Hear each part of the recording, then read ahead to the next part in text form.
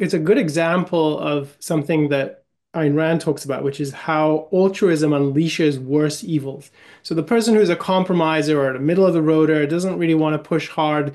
The people who are telling you, oh, you need to have a ceasefire, you need to have more stringent rules of war, you need to be concerned with humanitarian uh, issues and and feeding the Palestinians. All of that, I think, is coming from an altruistic base this idea of morality is defined by self-sacrifice and the, the, the, strong have to sacrifice for the weak and how could you not be concerned with the palestinians?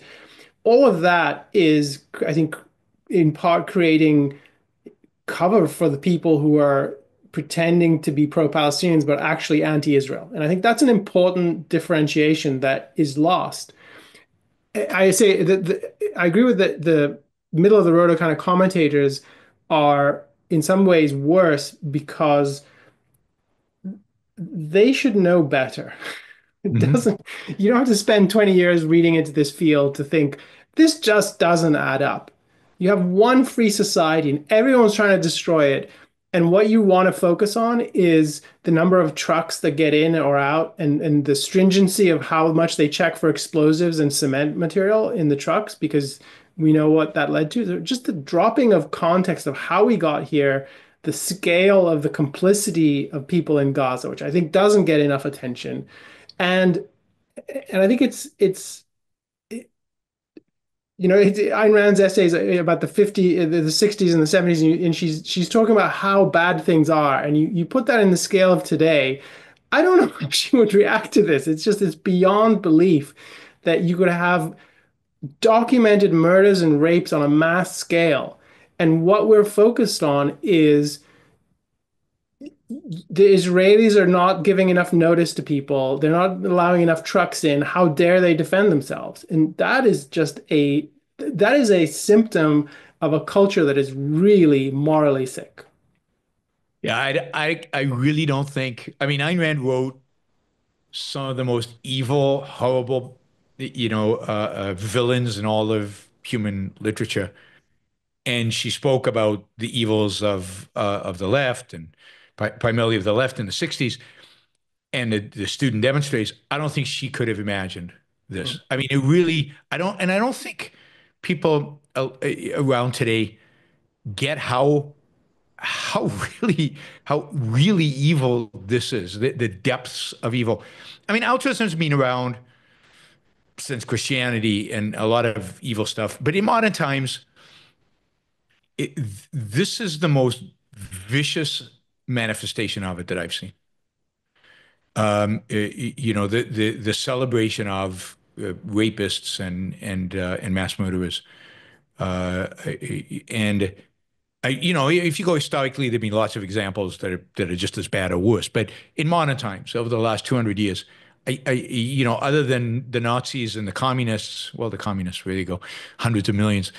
I, but this is up there with that, and this is in the West. This is in the this is in this is the good guys. This is in the mm-hmm. right in the place of good good people. Uh, I wanted to, to raise one more thing about campus because I, I went by that quickly, but I, I want to share an anecdote from the last couple of weeks. I, I, I was invited to a few campuses to speak in the last few months. I'm not going to tell you which campus this is happening in, but I was invited to speak at a campus, and I was going back and forth with the the student group that is sponsoring or wanted to sponsor the event, and they wanted me to speak this month. And I thought, well, the natural thing to talk about on campus is this is the, the big issue, and there's things to say about the encampments and the things to say about uh, Israel and the conflict and how to understand it.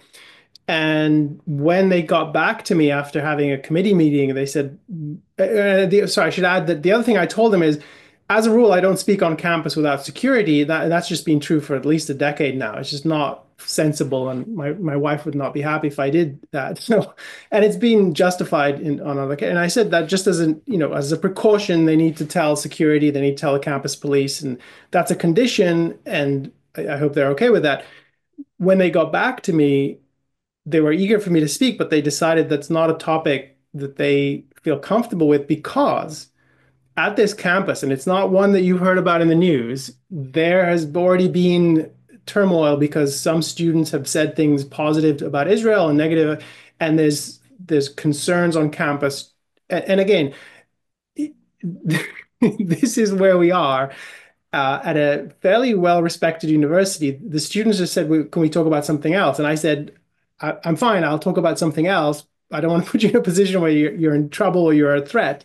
Because that's the climate that you can't. It, it, students are afraid to bring a speaker like me to present a position on Israel that, given the kind of climate that exists on campus, now that is really sinister to me.